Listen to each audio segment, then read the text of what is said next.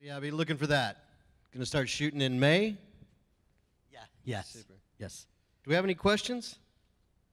I can't see, so if you Yeah. got one, holler out. Can we turn the stage lights on? Uh, we'll be shooting the entire movie in Albuquerque, New Mexico. Yeah. Yes.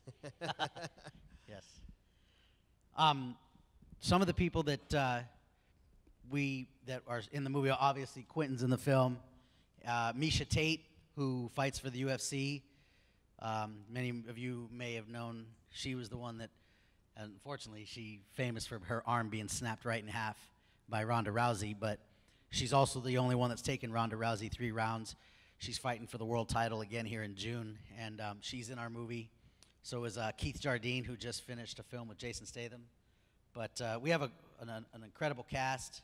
I've been blessed to uh, be able to work on this project. It's my first feature film that I'm directing.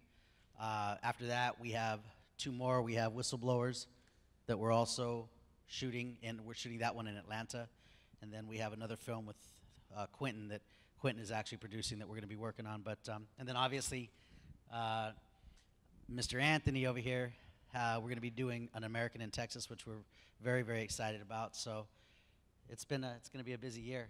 Yeah, it is. Yeah, it is. Looking forward to it. Yeah. All right, so we're gonna we're gonna roll five star. We appreciate you guys.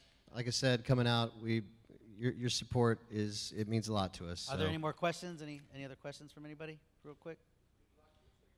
Thank you very much. Also, real quick, gonna do a shameless plug. Be sure to watch me on this season's Better Call Saul.